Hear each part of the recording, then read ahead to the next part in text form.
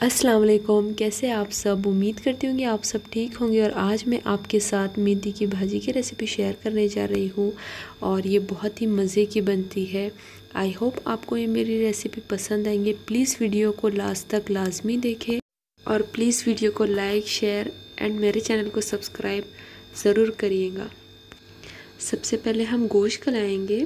तो मैंने यहाँ पर मटन लिया है, ये एक किलो के क़रीब है और हम इसे कुकर में डाल देंगे। गोश्त को मैंने अच्छे से वॉश कर लिया है और मैं इसे कुकर में डाल रही हूँ।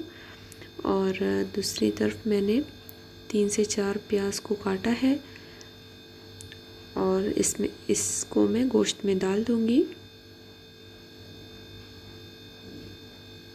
और इसमें थोड़ी सी हल्दी डालेंगे। और वन टेबल स्पून ऑयल डालेंगे, थोड़ा सा नमक डालेंगे, अदरक लहसुन का पेस्ट डालेंगे।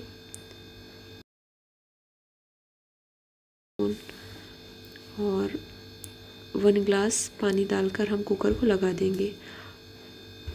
यहाँ पर थ्री से फोर विसल हो गया है और हमारा गोश्त अच्छे से गल गया है।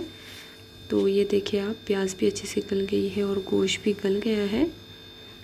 तो दूसरी तरफ़ मैं, ने यहाँ पर लहसुन लिया है, हरी मिर्च ली है और हम इसका पेस्ट बना लेंगे।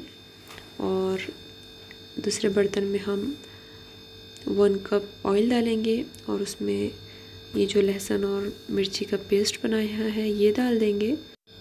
और अब इसे हम जब तक भुनेंगे, तब तक इसका कलर चेंज ना हो जाए। अब हम इसकी फ्लेम गैस की फ्लेम जो है वो लो कर देंगे।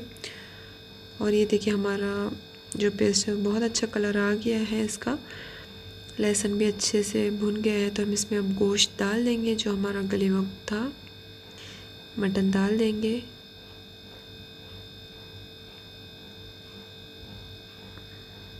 और यहाँ पर हम दोनों को अच्छे से मिक्स करेंगे।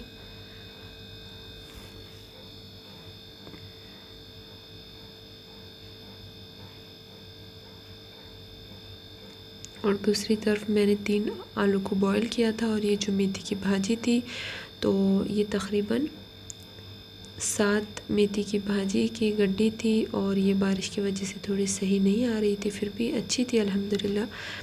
तो ये सात गड्डी है मेथी की भाजी के, इसे मैंने अच्छे से काट लिया था और आलू भी तीन बॉईल कर लिया है। तो इसे हम पाँच मिनट तक अच्छे से पकाएँगे। अब हम इसमें भाजी डाल देंगे। थोड़ी थोड़ी कर कर और इसे हम भाजी को अच्छे से मिक्स करेंगे और फिर भाजी डालते जाएँगे। ऐसा नहीं कि एकदम से हम पूरी भाजी डाल रहे थोड़ी सी भाजी डालेंगे और फिर उसे मिक्स करेंगे, फिर और भाजी डालेंगे, फिर मिक्स करेंगे। और ये याद रखें, जब हम भाजी डाल रहे हैं तो हमारी जो गैस की फ्लेम है वो फुल होनी चाहिए। वरना जो भाजी होती है वो कड़ू बनती है। इसीलिए हमें ये ध्यान रखना चाहिए कि गैस की फ्लेम फुल हो। और ये मैंने थोड़ी थोड़ी कर कर पूरी भाजी डाल दी है। और सो सॉरी कि मेरा कैमरा जो है वो शेक हो रहा है। और इसमें मैंने आधा टीस्पून नमक डाला है। और जो हमने तीन आलू को बॉईल किया था तो उसे मैंने कट कर लिया है और इसमें डाल रही हूँ। भुनाई करते टाइम ताकि जो टेस्ट है वो आलू में आलू में भी आए और यहाँ पर मैंने आधा कप ऑयल डाला है।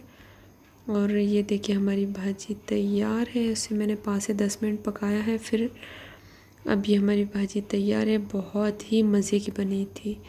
इंशाल्लाह आप लोग ज़रूर ट्राई करिएगा और बताएँगे कि ये कैसी बनी है। और मिर्ची आप आपके हिसाब से रखें। बहुत ही मज़े की भाजी आलू गोश्त बना था। आई होप आपको मेरी रेसिपी पसंद आई होंगी। आप इसे चावल के साथ खाएँ और रोटी के साथ। बहुत ही मज़े का लगता है। ओके अल्लाह हाफ़ फ़ी अमान अल्लाह।